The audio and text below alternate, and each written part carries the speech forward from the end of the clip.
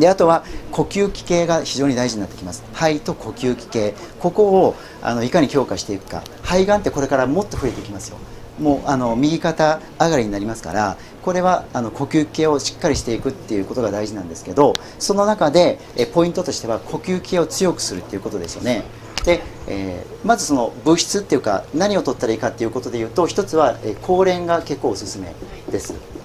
えー、高蓮って何かというとレンコンの粉末。はい。これは強力なですねやっぱ気管支系を良くしてくれる作用がありますのでで同時に高蓮ってれんこんの根っこですから、体を温める、うん、作用があるので、こういったものを普段から取るといいかなと思いますね高蓮、うん、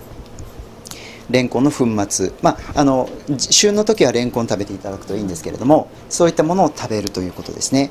それと呼吸器系を鍛えるっていうことでいうとやっぱりもう単純なんですけど深呼吸なんですよ。深呼吸。特に呼気っていうのが大事で呼気。で呼気を鍛えるってどうすればいいかっていうと簡単でですねこれは、例えば歌うとかね、えー、歌うとか笑うとかですねそれだけで実はこの呼吸器系の筋肉って鍛えられるんですね。だから喘息の子供さんに、歌を歌わして、改善させてるとかっていうとこもやっぱあるんですよ。だからそういう単純なことなんですけどそういうことをしていくことで呼吸器系を強くする。あの日常生活のそういう単純な習慣の中にそういうのってできますからそういうのもしていくといいんじゃないかなと思います。で、え食べ物はこれで取っていただいてあとじゃあ人体の解毒力を高めるにはどうしたらいいかっていうと余分なものを出せばいいわけですよね。で余分なものを出すにはどうすればいいか。これはですねいろいろありますけども、えー、食物繊維とかいいですよね。そういったものを取って解毒する。でその中でも最強のな、えー、最強の食物繊維っていうのが、えー、サイリウムハスク。サイリウムですね、まあ、こういうサイリウム。これは強力です。でもう一つ挙げるとすれば、えー、フラックスシードですね。フラックスってアマニの種、えー、アマえー、アマニ油ってありますよね。フラックスオイル。あれの種ですね、え、それを粉末にしてやると本当に強力な解毒効果があります。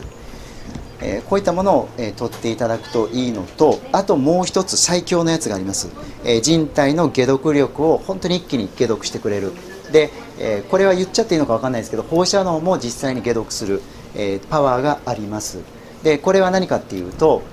アメリカの古代のアメリカのインディアンとか昔の人たちがもう当たり前のように使ってきたものです。だから要は天然のものですね。これがですねクレイですね。ベントナイトクレイっていうんですけど聞いたことありますかね？ベントナイトクレイ、えー、モンモリロって聞いたことあります？ないですかね？モンモリロナイトとか、えー、そういう結局なんていうか火山灰とかそういうありますよね。あれが積み重なって長年の中でその変化していった天然の鉱物っていうか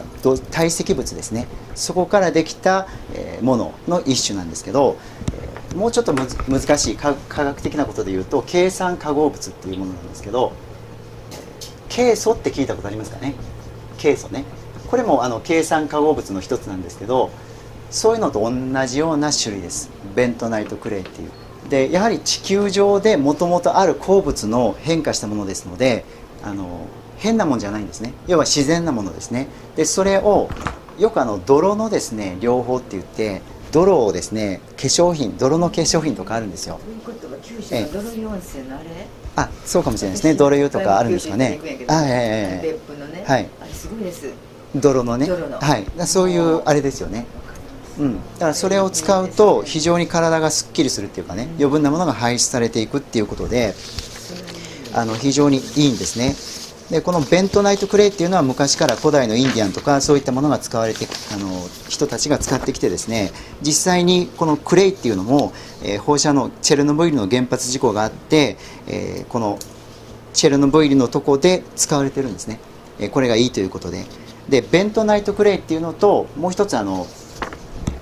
え今のゼオライトってありますよね。ゼオライト。これと同じような成分なんですけど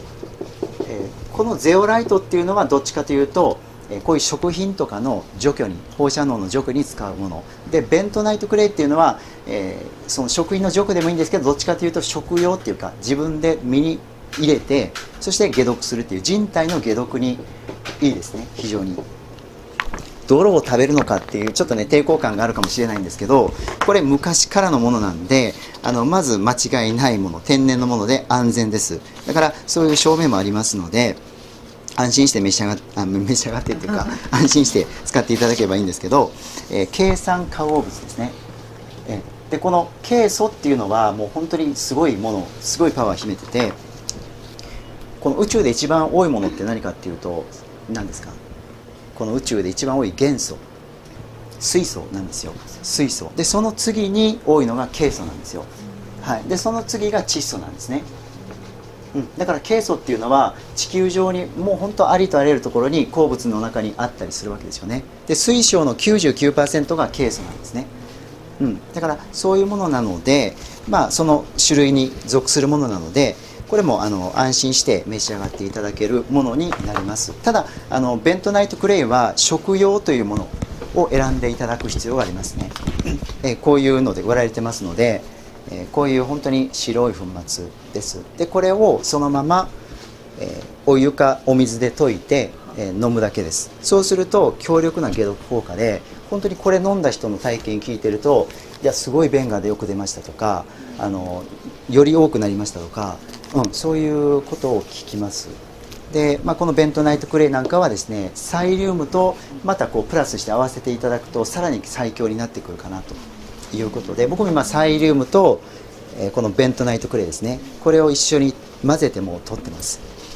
で、まあ、一つの注意点としては空腹の時に取ると、うん、で全部流す。あるいは悪いものを食べた時に、えー、解毒したいなと思った時に食べる。ケーキあの美味しいケーキ食べた後にこれで食べて解毒する。バイキングの後とか、ね、バイキングの後食べ過ぎた後とかそういう時にすごいいいですね、結局環境をね、変えていく、まあ、環境を根本的に変えていくことはできないですから、環境対策としてはもうマスクぐらいしかないんですよ正直言うと、外の環境でね対策するって言ったらもうマスクぐらいしかないです。あとは、人体自分の人体の解毒力を高めるということ。でこれは、毒素を出すということで今ちょっとお伝えしたベントナイトとか